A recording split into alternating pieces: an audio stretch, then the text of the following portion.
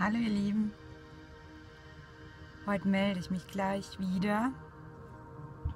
Ähm, ja, weil ich bin wieder auf der Fahrt und ich hatte das Glück, wieder ganz eine nette Mitfahrerin mitnehmen zu können.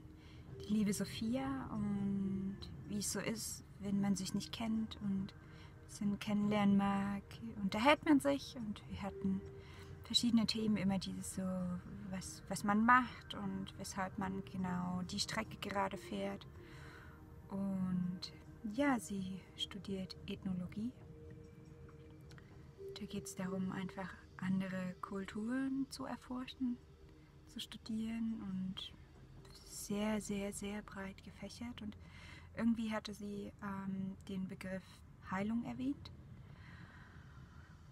dass das wohl auch so ein Thema bei Ihnen im Studium war, ähm, wie andere Kulturen das sehen.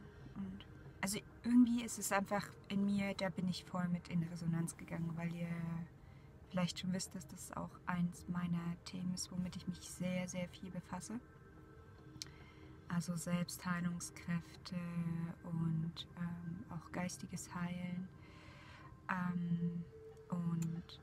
ja, Heilung durch die energetischen Behandlungen, durch die energetischen Massagen und ja, und ähm, sie hat auch Japan erwähnt, weil ihr Freund dort war und sie war mit. Sie dann auch gefragt, ob sie, äh, ob ihr Reiki was sagt, weil das, der Ursprung liegt ja in Japan von dem Usui und ihr sagt es sogar was, weil ihre Omi ähm, das praktiziert. Und dann habe ich gefragt, ob sie es schon mal erfahren durfte und sie hat es beneint, also weiß nicht, verneint. Ähm, da ist in mir gleich wieder so ein Gefühl aufgekommen von schade und dann habe ich mich gefragt, weshalb eigentlich nicht? Weil für mich ist das ein Riesengeschenk. Ich bin so unendlich dankbar, dass, dass ich äh, von der Energie mit der, äh, Energiearbeit weiß und das selbst jetzt ausüben darf, mir helfen darf, anderen auch dabei helfen darf, irgendwie sich zu, er, also zu erfahren und teilweise auch selbst heilen, zumindest auch schon mal zu mehr Klarheit zu kommen und dann auch wieder an die richtigen helfenden Hände zu kommen. Ja, das war irgendwie so, was in mir aufkam. Ähm, es waren viele Sachen. Mm. Zurzeit beschäftigt mich das Thema Heilung auch, weil, wie ihr seht, ich habe da so richtig schöne Mundwinkel und auch ich bleibe nicht davon verschont, obwohl ich mich schon viel mit der Thematik auseinandersetze. Und für mich ist es halt, ähm, mm, ich sehe meinen Körper mittlerweile wirklich als Tempel an. Praktisch mit dem ich ja hier auf Erden sein darf, mein Körper. Und ich bemühe mich sehr, ihn zu pflegen und zu hegen und habe einfach gelernt, auf die Körpersignale zu hören. Also ich bin noch total im Prozess, im Lernprozess, ne? aber es ist halt immer mehr, dass es möglich ist und in mich hineinzuhören, zu spüren.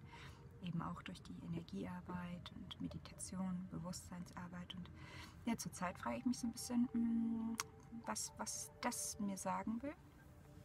Und es gibt auch schon viele ähm, ja, so Untersuchungen und Veröffentlichungen. Ich werde die Tage mal danach schauen und auch mit ein paar Freunden, Bekannten drüber sprechen. Und ich glaube, das Wichtigste ist aber eben, dass ich meinen eigenen inneren Guru befrage, ähm, mit welchem Thema das zusammenhängt.